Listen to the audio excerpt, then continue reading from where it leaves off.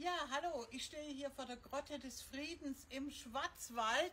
Oh, da kommt ja jemand zum Tor rein. Oh, Frauke, Mariam, was, ich Frauke, geschafft. was machst denn du da? Oh. Mensch, Frauke, Ich wollte dir bei TikTok eine Rose geben und das ging nicht. Jetzt bringe ich die persönlich vorbei. Ja, du Ist kommst von richtig? Norddeutschland hierher mit einer Natürlich. Rose.